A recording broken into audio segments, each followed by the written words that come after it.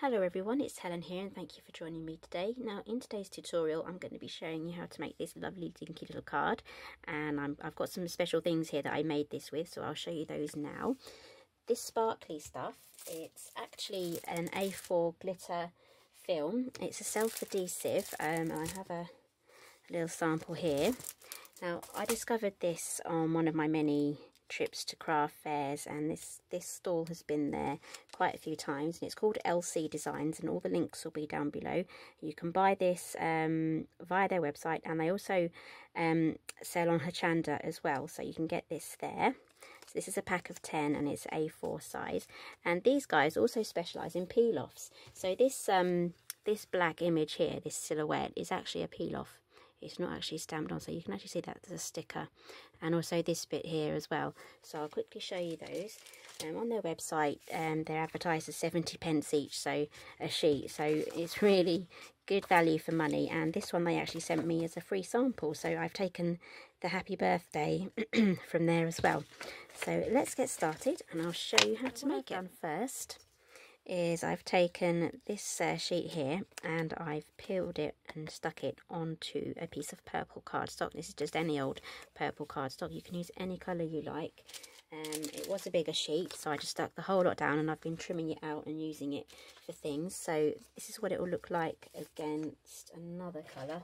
So this is what it looked like against the white. So it will give you a nice like white snowy theme and got a piece of black here as well it will pretty much look good on anything you use it on. So that's it on the black as well. So you can really change the look. Okay, so this measures three and a half by three.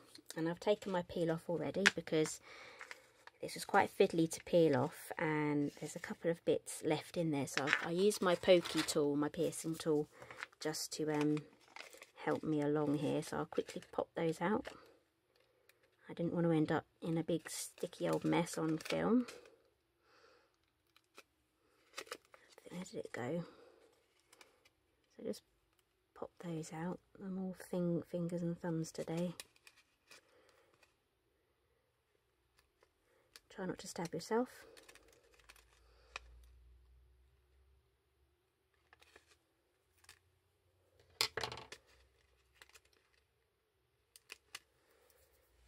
Okay, so let's peel that off and then stick that on. You can actually layer this differently, so I have experimented and I like the look of the black peel off on the top. I mean, you can sandwich it in the middle, um, but it, it, it, becomes more muted and um, just slightly different. So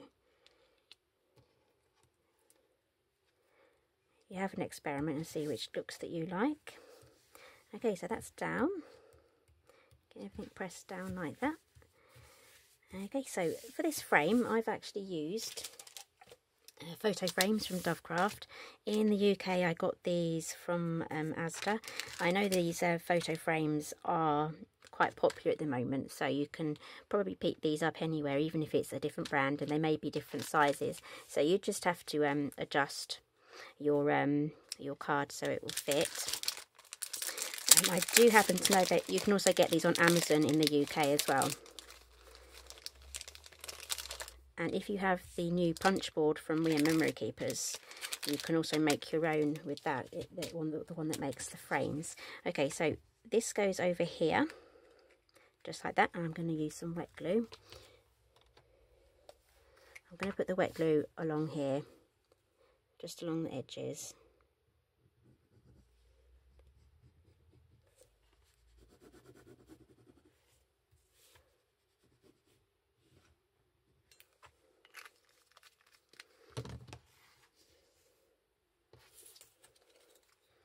And we're going to get that stuck down just like that.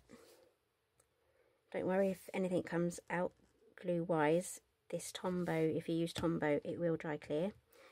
So if you are using a wet glue, make sure you use one that does dry clear in case it oozes out the edges. Okay, so I'm happy with that one. And I'm just going to move over to my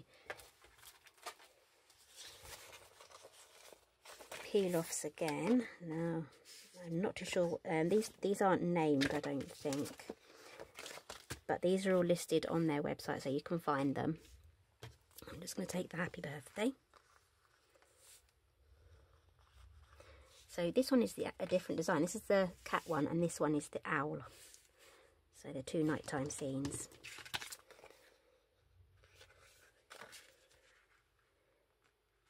So using my piercing tool again, just to help me lift that up.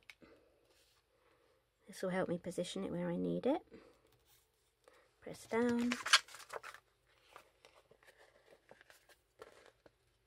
These cards are so quick and simple to make. And because it is a slightly awkward size you can use your um, envelope punch board to make a custom envelope for this. There we go. Got happy birthday on there. And now for our card base which I've put somewhere. Here it is. Okay uh, so this measures 7 and 7 eighths by 3 and 1 eighths and I've scored it in the centre at 3 and 15 sixteenths of an inch. So all the measurements will be on the um, blog post that's going to be going with this project. All the links will be down below and a link to the shop as well so you can buy your own. Okay so all we need to do now is stick that on. Just decide what side I want for my front. So this one's slightly longer so I'm going to have that at the front so it's easier to open. So all we've got to do now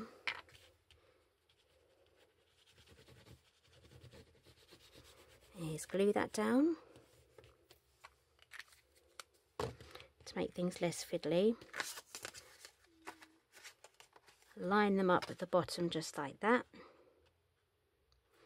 and then gently press them together line them up and then you can get those pressed down.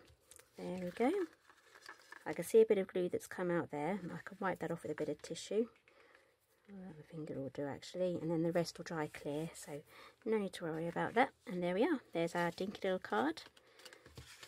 Nice little set there. You can make a whole nice little set of these note cards or even um, just stamp on there just to note. So I'm really happy that I found this um, this glitter film because you don't get glitter everywhere and it's really handy. And if you use StazOn um, which I have just here StazOn ink or any alcohol based ink you can um, use your stamps on here as well. I mean, I have tried um, with a few experiments on this, and you have to have a very steady hand, or otherwise it may slip around. Um, or you may use a MISTI tool or other stamping tool that will help keep everything steady. So Okay, so I hope you enjoyed today's project. Please pop along to my website and all the dimensions and the products that I've used will be listed. There'll also be links to the shop in the description box and on my blog so you can go to both places. And I'll see you in my next video.